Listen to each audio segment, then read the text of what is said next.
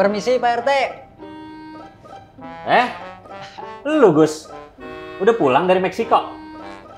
Siapa yang dari Meksiko Pak? Duit dari mana? Dari mana duitnya? Ngada-ngada aja Pak RT. Lah kemarin malu ngomong sama gua, katanya lu berangkat ke Meksiko, mau jualan getuk. Enggak ah. Sembarangan aja Pak RT. Lah terus, lu kemarin mau ngapain? Minta sembako? Kagak ada, sembakonya udah habis. Bukan Pak RT. Saya ke sini mau ngadu. Apa yang mau diadu? Kan gua kagak punya ayam. Bukan itu Pak RT. Tapi ada keluhan. Pengaduan. Warga gua lagi pada kenapa sih ya? Kemarin maknya si Adul datang kemari, ngadu juga sama gua. Emang emaknya Abdul ngadu apa Pak? Ngadu kalau anaknya minta laptop baru. Kan gue tahu emaknya kagak punya duit. Ya terpaksa gue sebagai RT Ngasih laptop. ngasih tahu anaknya kalau emaknya lagi kagak punya duit. Terima kasih nasihat Pak. ya tapi kan keluarganya jadi tenang sekarang. Anaknya udah kagak minta laptop lagi. Terus akhirnya minta apa? Minta mobil sekarang. Ya itu. Itu mah makin naik, makin puyeng dong keluarganya. ya begitulah. Yang penting saya udah kasih nasihat. Ya enggak? Daripada saya kasih sakit, yang ada ntar jadi ribet. Soalnya nggak punya duit buat berobat. Ada-ada aja Pak RT. Kayak orang lawak zaman dulu. Eh, jadi gini nih Pak RT. Saya punya keluhan. Saya punya utang. Waduh! Kenapa Pak RT? Kaget. Kagak, ini asam urat gua kambuh. Oh, Emang suka begini. eh, jadi gimana nih Pak RT? Saya takut tuh dikejar-kejar terus. Nih, dengerin. Gua kasih triknya. Ini udah diterapkan di seluruh penjuru dunia. Termasuk dunia pelora dan paujan. Fauna Pak. Paunanya kagak diajak. Ibunya doang yang diajak. Ah, gimana sih lo? Apaan sih Pak? Lah tadi lu bilang pauna. Maksud saya fauna hewan Pak. Oh, begitu. Ini gua kasih triknya ya. Tapi lu kasih tahu orang-orang. Lah, gimana?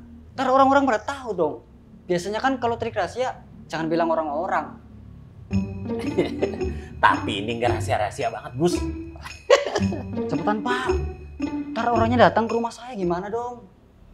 Udah lu diem di sini. Nih lu dengerin triknya. Ya. Tapi ini agak-agak honor ya. Kok honor sih? Horor kali Pak. Ah, maksud gue begitu. Kalau nanti ada omongan gue yang salah, lu bengkokin aja. Dong kalau dicontohin. Trik ini udah turun-temurun dari anak saya. Jadi pasti berhasil. Loh, turun-temurun kok dari anak Pak?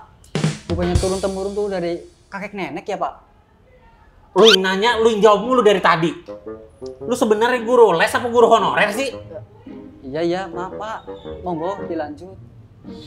Ini trik bukan sembarang trik. Trik ini udah dipakai dari tahun 1732. Iya. Terus apa Pak triknya Pak? Lu pura-pura game opera aja. Mati maksudnya Pak. Ya bukan mati beneran, kan gue bilang pura-pura. Gue stop juga nih dalam bansos buat lo. Oh, jangan Pak. Saya masih betah pengangguran. Eh, tapi itu beneran bisa Pak. Triknya bisa ampuh gitu buat lunasin utang saya. Bisa, lu percaya aja sama Tuhan. Loh, kok percaya sama Tuhan Pak? Loh, loh, loh, mulu lu dari tadi. Eh, doyok lu. Udah lu ikutin saran gua.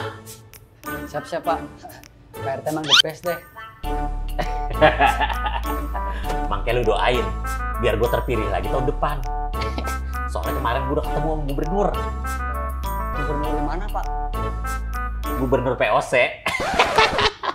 Katanya gua mau diangkat jadi bupati, Gus.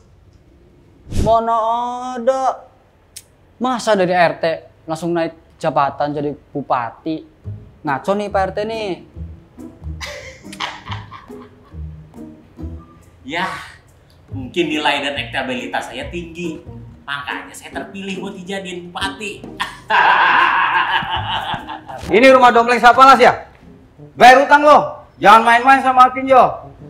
Eh, mohon maaf Pak, belum ada duitnya Pak. Lah, tadi sosokan nyeramain gua.